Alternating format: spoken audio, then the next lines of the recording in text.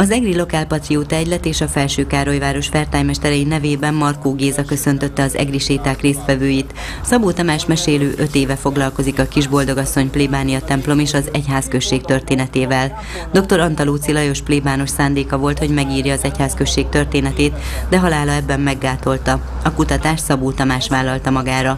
A templomról is sok érdekességet talált már. A templomunk freskójának festője, a mezőkövesdi híres festőművész Takács István 1774-ben festi meg az itteni képet, ami a templomunkban található, a bazilikát, a püspöki magánkápolnát említik.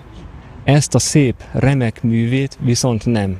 Mai napig nem tudjuk miért. Rögtön a séta elején felhívta a figyelmet arra Szabó Tamás, bár az emléktábla szerint a temető 1720-tól működik, jóval korábbi 1699-es halotti anyakönyvet is talált.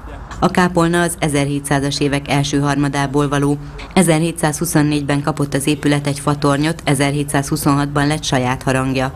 Valószínű, hogy ebből az épületből ma már semmit sem látunk, az 1700-as évek végén összedőlhetett, mesélte Szabó Tamás.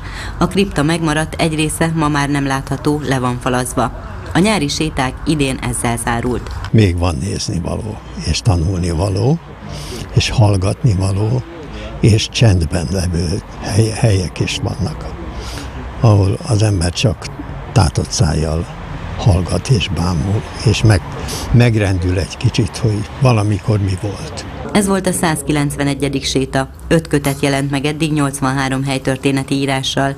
Már tervezik a következő év nyári sétáit, ősszel pedig indul az Otthonunk Eger sorozat.